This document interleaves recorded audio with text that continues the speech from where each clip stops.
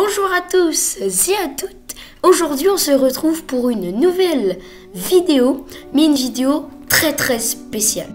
Je ne sais pas si vous avez remarqué, mais je suis en pour un magnifique reportage sur la place Stanislas.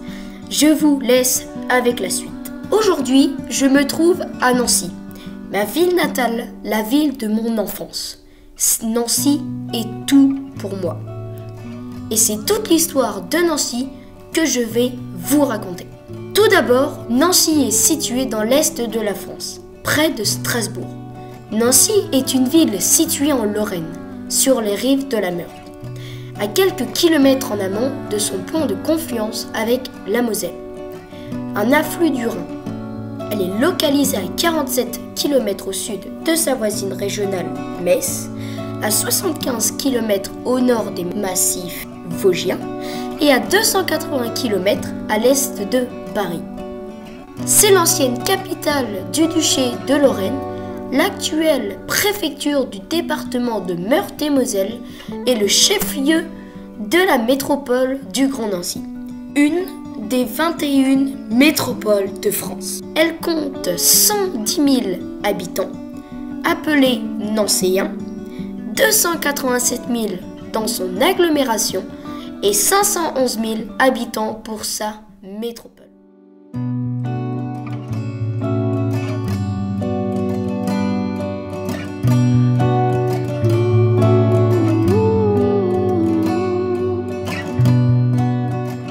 se retrouve sur la place Stanislas, une place très très réputée et qui est la place élue monument préféré des Français lors de l'édition 2021 de l'émission Le monument préféré des Français, représenté par Stéphane Baer.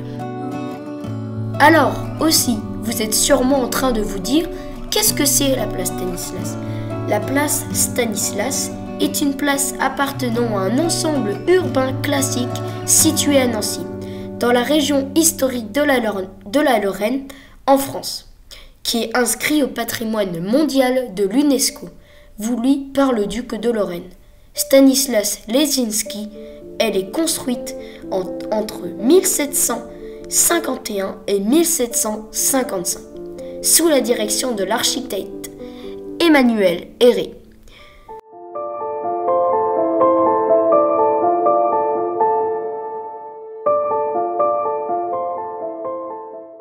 Son nom et sa statue évoluent au gré des bouleversements de l'histoire de France. Elle porte son nom actuel depuis 1831. Le guide Lonely Planet élit la place Stanislas quatrième plus belle place du monde. Appelée familièrement place Stan, elle est malgré ses belles proportions 106 mètres sur 124 mètres de dimension modeste relativement aux 12 hectares du record français de la place des Quinconces à Bordeaux. À Nancy même, la place de la Carrière ou le cours Léopold notamment sont plus étendus. Ce ne sont donc pas ces dimensions qui font l'originalité de la place Stanislas, mais son aménagement et son rôle dans l'urbanisme de la cité, reliant deux quartiers autrefois indépendants. L'architecture et les monuments sont plus typiques d'une capitale d'ancien que d'une simple cité de province. Ainsi, la planification urbaine d'une grande cohérence architecturale affirme lors de sa construction la persistance du pouvoir du duc de Lorraine, qui bénéficie alors de son indépendance.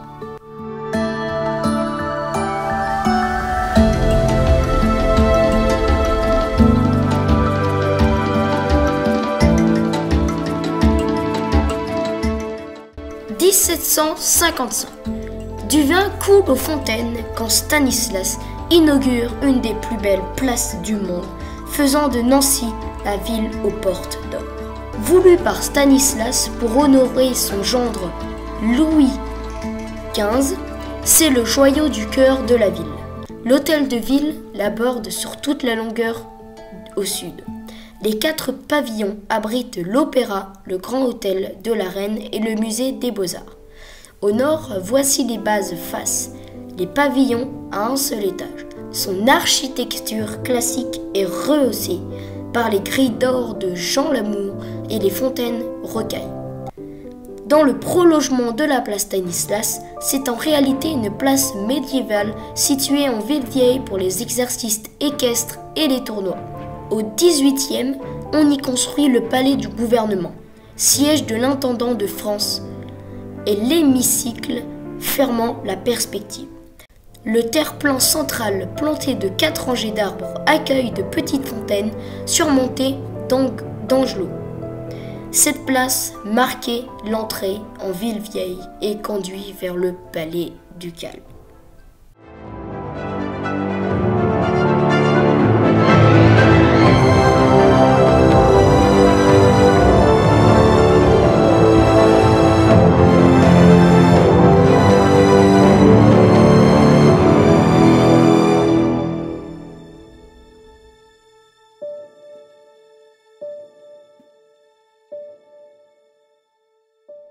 C'était un reportage créé par la production des gourmandises de Vava, dirigé par Mamarène et le fils de Mamarène, designé par les gourmandises de Vava et monté avec le fils de Mamarène et moi-même, les gourmandises de Vava. Dernier truc, celui qui met le premier commentaire de cette vidéo sera épinglé. J'ai rien d'autre à dire. Merci d'avoir regardé cette vidéo et je vous dis dans une prochaine vidéo ou bien un autre épisode des recettes des abonnés ou bien un nouveau tuto de cuisine ou de pâtisserie.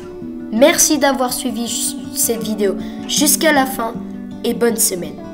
C'était les gourmandises de Vava et à bientôt. Ciao